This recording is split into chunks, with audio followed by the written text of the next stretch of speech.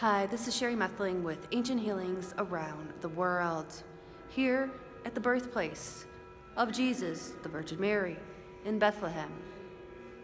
He was born, actually, it's showing in a cave here in Bethlehem, at this church that now represents where he was born. I already went in to the area, the cave, the manger, exactly where he was born. Jesus, Son of God, written by the Gospels, the Bible, the Scriptures, Virgin Mary, giving birth.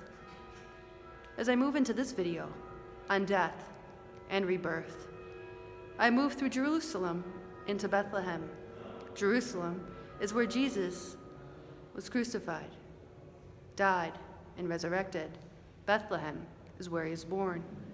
Hence the video, Death and rebirth. What do I mean by that? Well, we have to ask ourselves, what do we need to die to?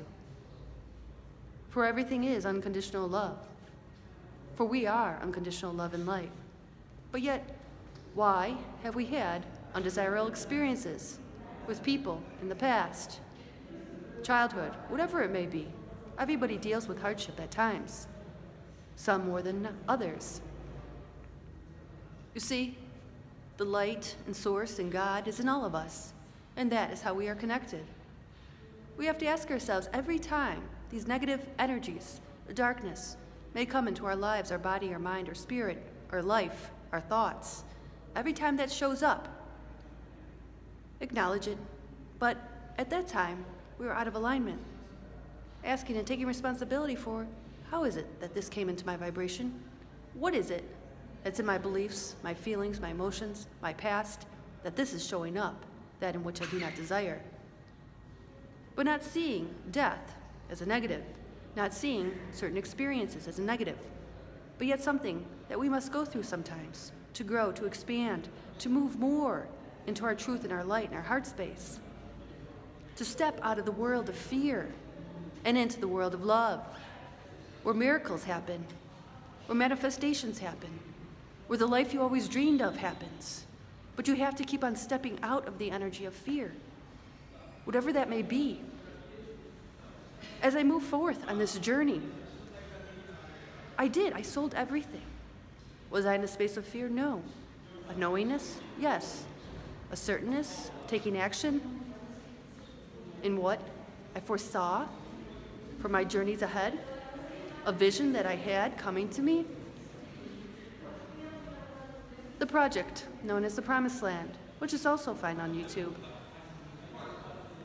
We cannot get anywhere unless we take risks, unless we step out of fear in life, moving forward in the direction that we want to go. Every time the lower vibrations of energies show up, I might call it the darkness or the fear world. Well, you have to move out of that space and always come back to your heart space and say, what does my heart say? What does my heart feel in this decision? My head's telling me this, but my heart's telling me this. It takes a lot of courage to follow the heart space because the head will talk you right out of it. The head is more in line with human world, and the heart is more in alignment with the spiritual world and source and God and the divine, the divine light within you and all the people in this world. For we are all love and we're all light, and that is how we are connected. And we are supposed to be working together on this planet to make this world better. So every time you notice yourself stepping out of alignment, judging an experience, a person, step back into alignment and release any judgments, release any fears. Make a list of the things or feelings that you need to let go of, being clear in what you need to deweed in your garden of life.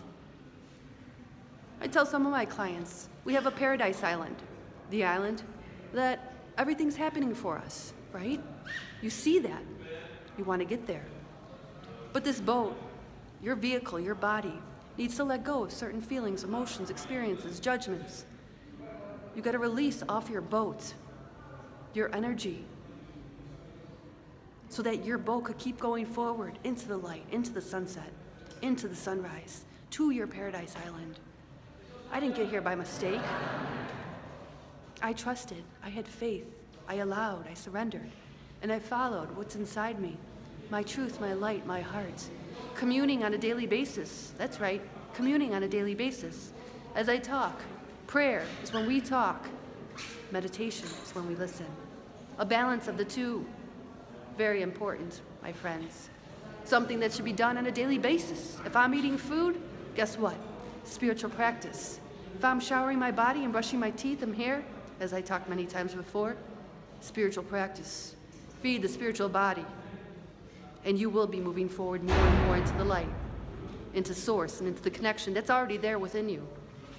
But if you keep on listening to the darkness, the fear, the negative energy, then you will not be moving forward into the light, but we all have to be moving forward now. It's a new era, a new world, new beginnings. The rebirth process is happening, but it only happens if you make the changes. Change does not happen without changing, correct? Yes. Ask yourself where you need to change, where you need to line up with your spiritual body, mind, and spirit. Asking yourself if you are feeding your spiritual body daily, whether it be gratitudes, prayer, meditation. You don't need to go to a certain place or space. Omnipresent. God is everywhere. God is in us. God is around us. We are the light. The more we stay in the energy of love, the more our path will be open, spread like the Red, like the Red Sea will open up. Slowly but surely. But you need to have faith, you need to trust, and you need to follow the heart. My head tells me one thing. I could have stayed in the corporate world, my head would tell me that. Comfort zones, knowing what I'm making, what's coming in, stability, security. Yes.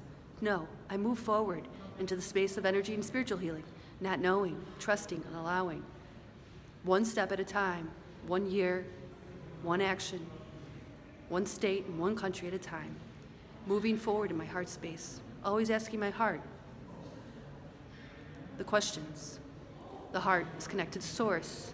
The head, well, it's connected, let's say, to ego. Security, comforts.